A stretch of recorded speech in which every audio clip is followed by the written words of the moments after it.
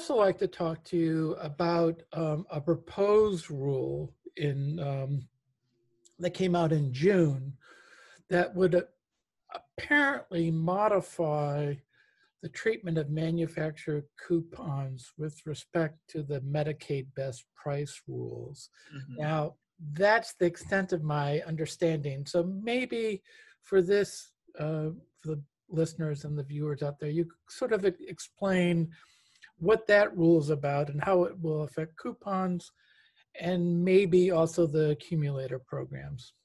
Yeah, sure. So at the outset, I want to emphasize that, that that is a proposed rule. So that's not currently the law, uh, but it could become the law uh, in some uh, some sort of form.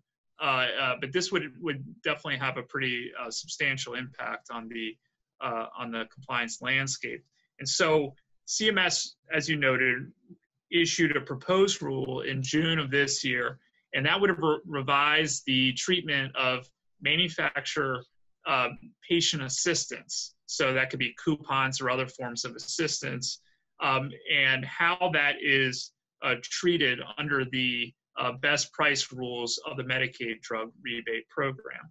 So historically, drug coupons and other forms of patient assistance have been um, generally excluded from the calculation of best price as long as that assistance is structured in a certain way by the manufacturer that, that it meets certain criteria. Now, um, best price is important, of course, because it is used to determine the amount of rebates that a manufacturer must pay to the government in order to participate in the Medicaid uh, program. So, in the proposed rule, what CMS would be changing is that they would be saying that in order to still qualify for that exception from best price, the um, coupon or other assistance, it, all of it, the entire value of it has to be only directed at the beneficiary. And then on top of that, the government is arguing that when you have a scenario where a plan or PBM is applying an accumulator, that they, they contend that the value of the coupon is not 100% going to the beneficiary. Instead, the, the you know the, the plan or PBM is sort of extracting some of that value. So um, you know, as a result of this um, uh, rule, if it was to be finalized, manufacturers first would have to identify uh, the circumstances in which a, a plan or PBM is impl- applying a uh, accumulator to block the coupon from applying and then in those situations would need to uh, make sure that the value of that particular coupon is um, not excluded from best price, but instead included in best price. And when coupons are included into best price, um, the result is that the manufacturers ultimately have to pay a higher uh, rebate amount to the government. Uh, so the, the net effect is to increase their financial liability under the Medicaid drug rebate program. So manufacturer stakeholders um, ha- have noted in response to this proposed rule that, um, first of all, there's a real practical issue here, and that is it, it's very difficult, perhaps even impossible, for a manufacturer to determine uh, in every situation where a plan or PBM may be um, applying an accumulator. So a lot of times there's no, you know, publicly available information. Um, so that can really just be a, a real difficulty there to identify when they apply. So given that dif- difficulty, um, I would I would think that manufacturers many would would take um, different sort of course of action. One may be uh, that the manufacturers would say, well, you know, given the, the legal risks of not being able to comply with the best price rules, they may just take the presumption that an accumulator is applying, and therefore all their coupons would, you know, be included into best price, and they would have to sort of take that financial hit. Um, another sort of behavioral reaction could be that some manufacturers may say, you know, given the risks and given the increased financial liability, we may just um, decrease the amount of patient assistance that we offer um, in the market. So um, those are, you know, two potential outcomes um, that that could result in. And in the meantime, you know, plans would be even further empowered um, by this sort of rule. They would have even more flexibility um, to to use accumulators um, in these sort of circumstances. Um, and so, you know, it's it's it'll be interesting to to sort of see what happens here. There there is a, a an, an, irony here too, because if this proposed rule was to be finalized, um, I, I, think it it could uh, lower the amount of uh, financial assistance that's being offered um, on the market, and in turn, it could also increase or promote further plan adoption of accumulators. And, and there's an irony there because CMS has at times uh, expressed some concern about the impact in, in some situations of accumulators uh, to beneficiaries. So th- this could have uh, really the opposite effect. So there, there's a lot of money at stake here. Um, so it'll be important to you know really monitor uh, what happens with this proposed rule and this proposed change to best price and whether or not it will in fact be finalized. Yeah, the will it in fact be finalized? Presumably, with a new administration, um, given that it's a proposed rule, um, it isn't it very likely that it will not come to be, or if it does, it will not come to be for quite some time, or is there a sort of a clock ticking and it has can only stay proposed for so long? And um... yeah, well, you know, I, I, think there's a lot of discussion. Um, you know, this is one of many rules um, that have you know has uh, come out of the government, uh, particularly from CMS and HHS recently, uh, that would look to reform um, pretty drastically certain areas of drug policy and and law. So there's a lot of discussion about what will be, uh, you know, further carried forward by the new administration.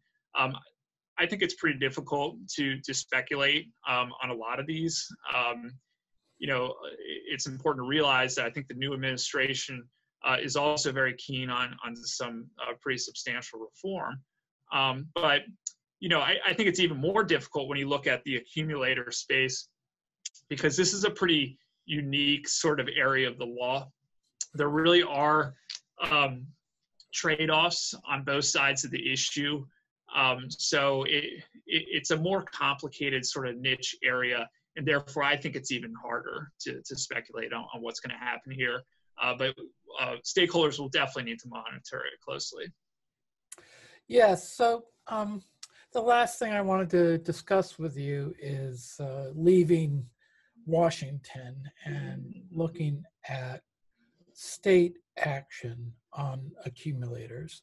In the piece um, that you wrote for uh, Managed Healthcare Executive, uh, you discussed how um, patient groups, some provider organizations have been pretty active in state capitals and with some success in moving ahead with regulations that rein in accumulators uh, uh, and I guess to some extent maximizers, um, in a way that hasn't happened in Washington. So maybe you could just, without going through state by state, mm-hmm. um, highlight a few state, perhaps highlight a few states where some uh, law or regulations have gone into effect or may go into effect and whether there's a common thread to what the states are doing.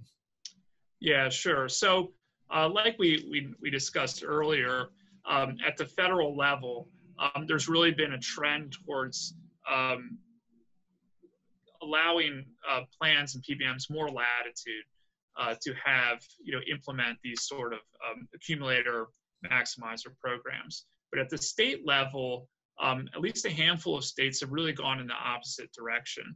So specifically, there are five states, um, Arizona, Georgia, Illinois, Virginia, and West Virginia, um, that have all implemented laws that would heavily restrict and pretty much prohibit the use of accumulators uh, and maximizers uh, for beneficiaries within their state, at least for fully insured plans.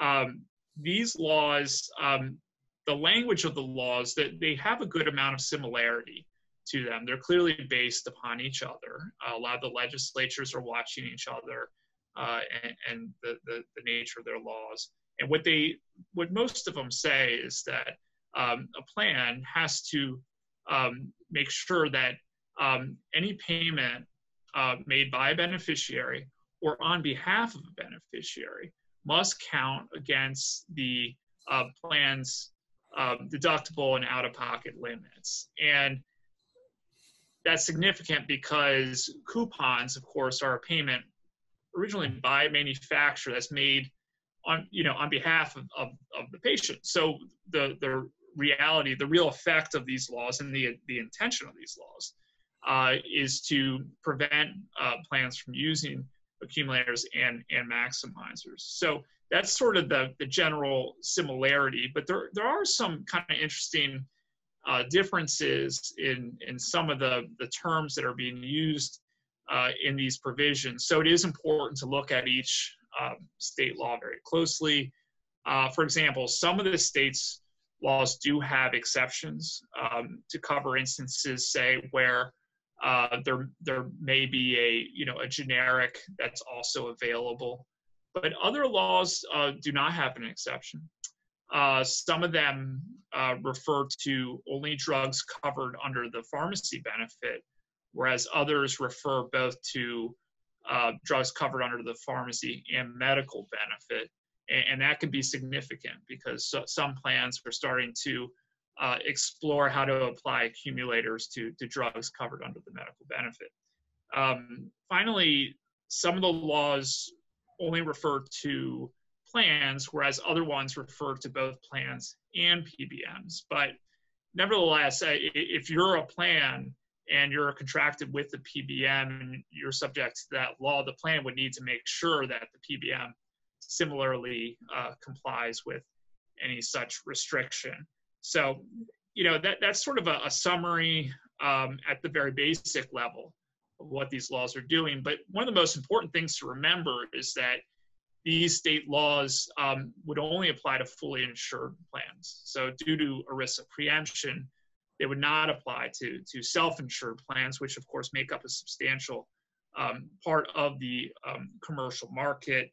Um, the other thing, too, is that while five states, you know, we talk about a handful of states, uh, that might not sound like a lot, but it's important to realize that um, these laws have only come up in the last year or two, and um, around 20 state legislatures have considered a bill or are um, are currently considering a bill to restrict uh, these sorts of programs, and they are receiving a there's a good amount of bipartisan support in some of these state legislatures, um, and, and, so they, I believe it's a trend that's going on right now.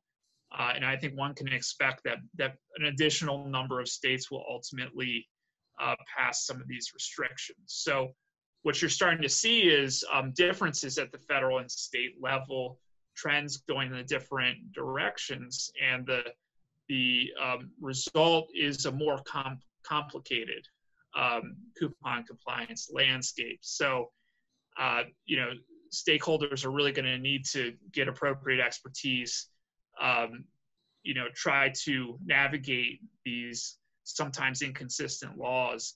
Um, and, and, also, um, it, it's just a very quickly evolving area right now. So, whatever the state of play is right now, um, that could very much change um, by next year at some point. And, um, you know, pity the poor uh, civilian, the poor patient who tries to figure this out. Um, is is there any interesting uh, legal question about whether the states have the authority to make these rules. Is there any sort of, uh, um, you know, question of state state authority in this realm, or does this fall safely into the um, uh, long-established uh, uh, framework that states uh, can regulate um, insurers that um, as long as it you know ERISA doesn't apply. hmm Yeah, so I I'm not aware of any legal challenges to any to any of these laws or, or really any discussion around it. Um, I, I would think on the surface that states do have um, you know appropriate uh, authority under their you know insurance powers to you know they can regulate local insurance and fully insured uh, plans and and cost sharing um, formulary requirements these sorts of things. I mean that does fall within the i think the traditional purview of state law. There have been questions about the extent to which um, uh, you know plans can uh, you know regulate um, PBMs and so forth, and and and, and their interaction with um, uh, with their plans, uh, and that is being addressed by the the Supreme Court right now. Um, but I, th- I, think most of these laws, you know, they really are primarily focused upon uh, the plans themselves. Uh, they they they are um, very much focused on this this one issue. I, I don't think that they're they're overbroad. Um, but but who knows? Again, it's a very controversial uh, area, uh, a lot of money at stake. Uh, so I I would expect the unexpected to happen uh, in, in the next year or two.